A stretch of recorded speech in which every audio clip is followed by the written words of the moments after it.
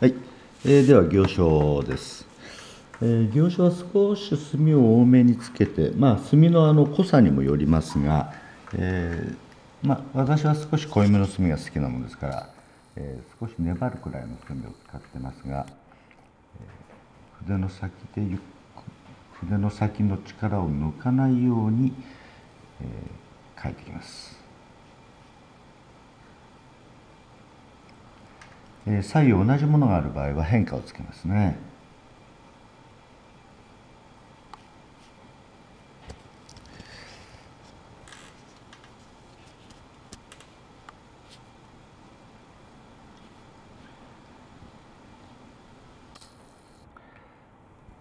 一本の線でも強弱が、えーをつけてそうすると線に表情が出てきますね。と独特な、えーリズムが生まれてきて見応えが出てきますね。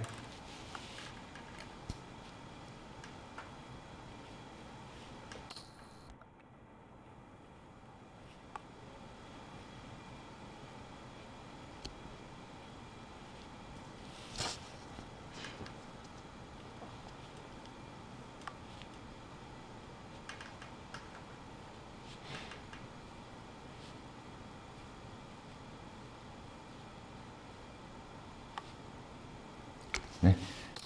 えーこういった収筆ですね。最後のとこまで力がスパッと抜けないようにグッと力が入ってるようなそれでもまあ、えー速さがないと綺麗な線は出ませんね。はい、では総書になりますが、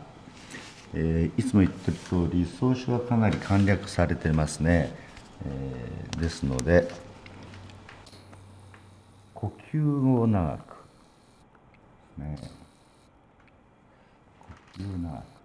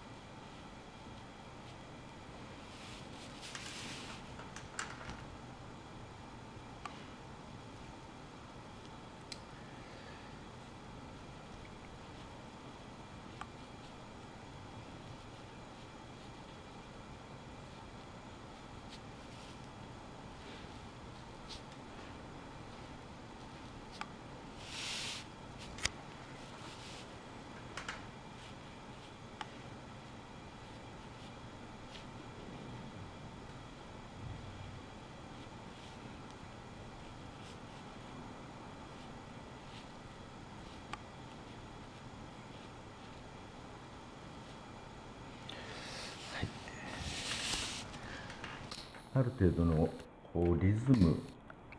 がないとあ引き締まった感じにならないし変化も出てきませんね。